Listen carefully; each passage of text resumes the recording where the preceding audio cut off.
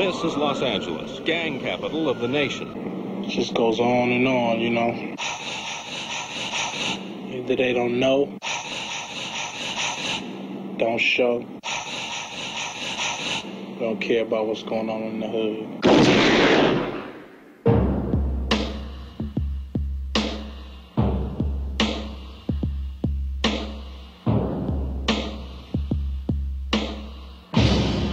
South Central LA. Yo, Benny, let's do the local thing. It's tough to beat the streets. What am I supposed to do?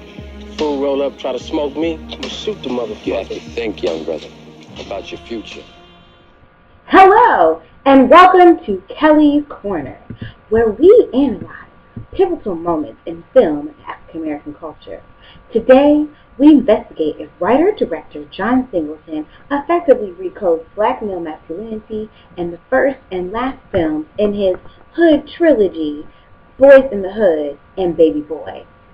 Today, we will assess if Singleton succeeds in his attempts to recode the masculinity under Bell Hooks' arguments that black males must redefine masculinity without misogyny, phallocentric masculinity, and violence. Now, while Singleton uses his films as a vehicle to combat issues of perceptions of black males under racial parameters, he fails to fully recode black masculinity outside the confines of misogyny, masculinity, and violence.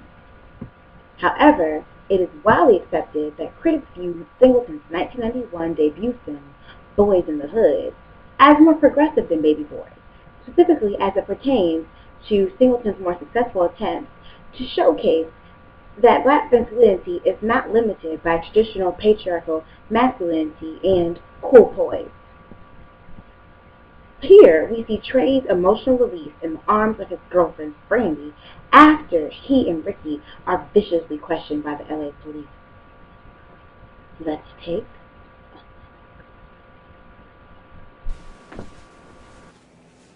I'm tired of this shit.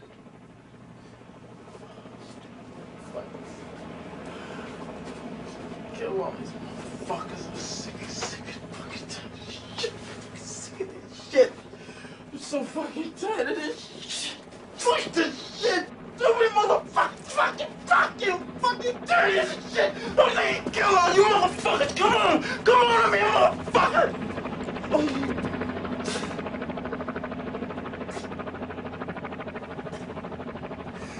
Oh.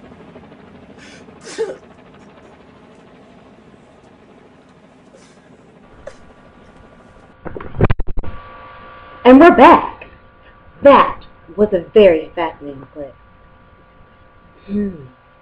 But unfortunately, Singleton fails to complete to completely recode black male masculinity under the conditions of new masculinity as outlined by Bell Hooks when he wrote and directed 2001 Baby Boy. While Singleton attempts to recode protagonist Jody's masculinity as an evolving vessel towards becoming a real man, Jody remains limited in expressing masculinity through misogyny and black female dominance.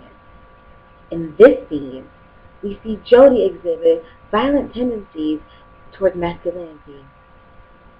A real man or a real nobody. I'm tired of sitting up in this house, not having a man next to me when I want, being lonely. I'ma do what the fuck I wanna do. What? What you gonna do? I said I'm tired of waiting for your ass. I hate you. I'ma have me a man, boo-boo. A man who wants to be with me and my baby and have a family. A real man, Jody. Not some little boy who still wanna live at home with his mama. Fuck you. Kiss my ass. Go on out in these streets and be a little trick if you want to. I should knock you the fuck out, girl. You better not hit nobody, because I call your probation officer and they will put your black ass back in jail. Now. Kiss my ass, nigga. Stupid. You better walk. Welcome back. Hello. But the essential question still remains if John Singleton successfully recodes masculinity through defying the traditional phallocentric concept of masculinity that Bell Hooks argues is necessary to effectively recode black male masculinity.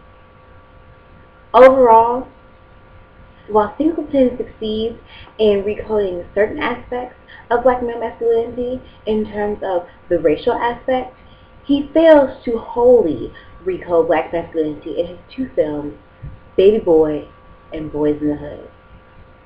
However, these two films stand as pioneers in the urban black film genre, and we must stay tuned to see how these representations will morph as time goes.